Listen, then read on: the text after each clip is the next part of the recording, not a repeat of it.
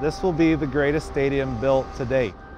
The architecture, you look left, right, up, down.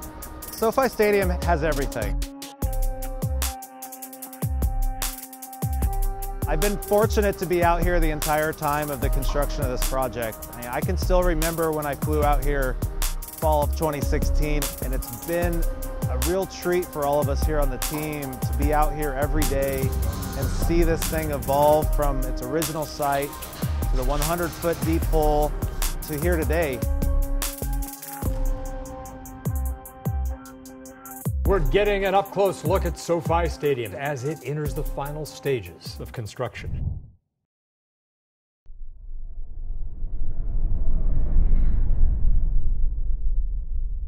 The first part is really the design. You know, the design process usually is over a two-year period. I mean, we have drawings that we've issued for construction that if they were on the floor, they would come up to here. And they're complicated buildings, like 70,000 people in a three, four hour window, all coming in at the same time. That doesn't really happen to that scale, to that degree on any other building type. Since the Roman Colosseum, 2,000 years, people want to be in the building. They want to be part of the building, they want to experience the building, they want to watch the teams there. The architecture and the buildings have been not flatlined, but they've been sort of this common type uh, look and feel, and all the focus has been on the green grass and on the playing surface. So what we do is we do a very deep dive into the region. What does it mean to, to uh, be an Angeleno? What kind of lifestyle, how that can all become embodied into an NFL venue? I think there's two big challenges right off the bat that, that we as a design team you know, gave a little pause to. Like, how are we going to uh, tackle these issues? The seismicity of the, of the job and the proximity to LAX. And those two kind of problems became a driving force in how the building ultimately looks the way it does.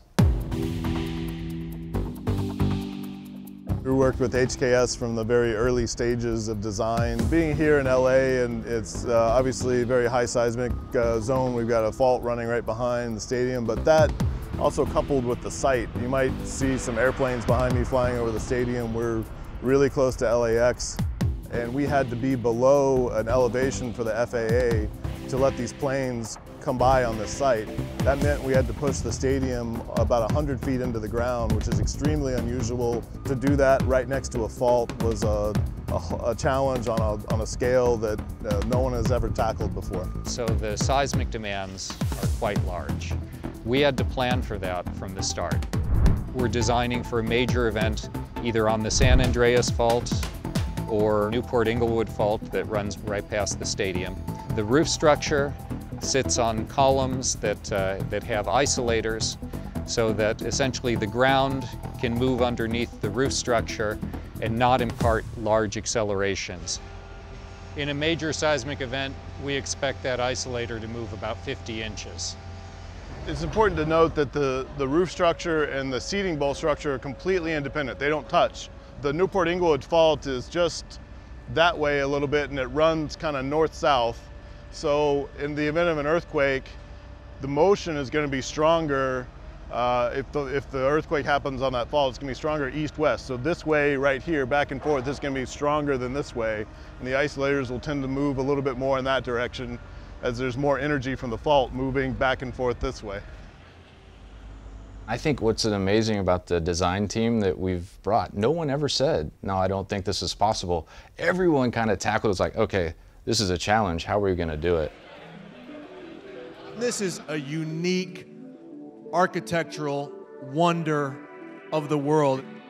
And recently, the final piece of the canopy shell was lifted and set in place, forming the outline for the iconic roof that will be seen by tens of millions of people annually as they fly into LAX.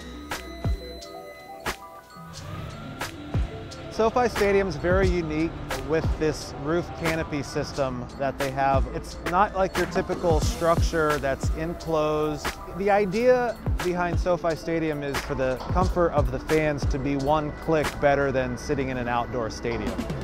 So you're still getting all of the outdoor breeze from all four sides of the stadium, but you're shaded by the fritted pattern ETFE panels above you.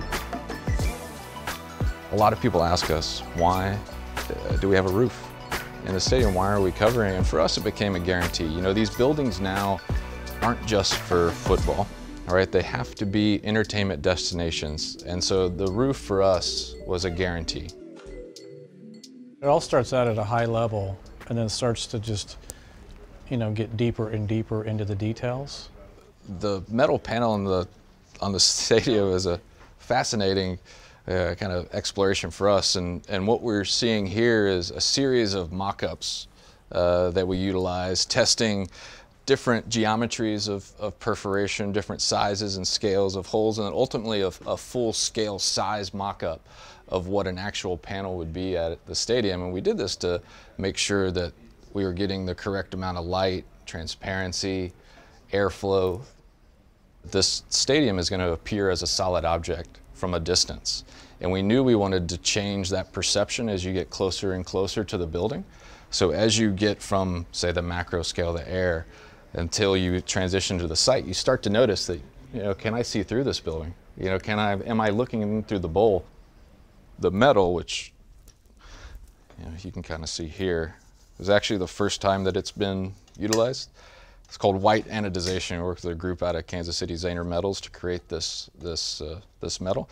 It's a beautiful thing that looks almost white in direct sunlight, but transitions throughout the day. So sunsets, sunrises, it's going to capture the, the pinks and the oranges, the hues of the beautiful sunsets here. So it's going to change and evolve throughout the day. And then at night it transitions and transforms. So that holes, which we're letting light into the building, actually kind of reverse at night and they emit light. So we have a series of color changing LEDs throughout the, the canopy of this building that really allow it to pulse with the energy of the events that are happening. In my career, I've been to several stadiums, worked on several stadiums, and the scale of SoFi Stadium really is, you know, beyond what I've seen before. How do we create the ultimate fan experience? I hope when people go to the stadium for the first time, yeah, they feel like that this building couldn't happen anywhere else in the world.